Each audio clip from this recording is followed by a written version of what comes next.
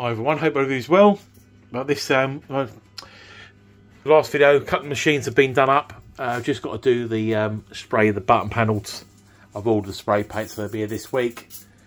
I'm still waiting for the ball to come back for this one. This one will be here next week to try out. Uh, not 100% if the ball's going to work, but I'm going to try it out when it comes back. Um, I've, had, I've, had, to change around, so um, this is the final layout of what it's going to be. Until it changes one day, I'm always looking out for machines, so one day yeah, it'll, it'll change again. The machine will probably go out and come in, so just, just show you around what I've got at the moment.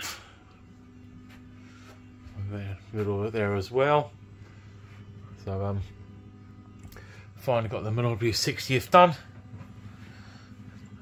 Got that sorted out. Got the routing. Uh, when I've got it, the um, the seller changed the um, coin mech inside, but he didn't put he put a coin mech with a different routing plug, so it would go into the different tubes.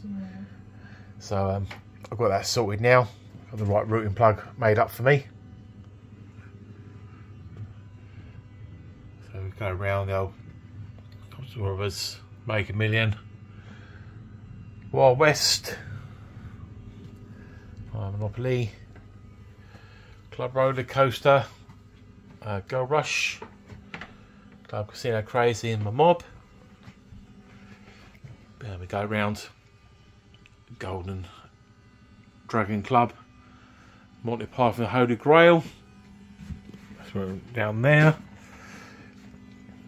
Now around here we've got the Great Escape, Viva Las Vegas, Luxor, Roadhog, uh, Fun in the Sun, Son of Dracula. The one just be finished as well, the old King Kebab. Said just the button panel to do. Uh, hot Rod, Adders and Ladders, Cash of the Nile, Club Hyper, and my Club Road Dog. So that's what I've got at the moment. Hopefully I'll get this one on soon. Then if it's good, it's all working up and running, I'll do a video on that one. So as all the other ones, the, the new few new ones I've got in as well. I'll do some videos of that and put them on very soon.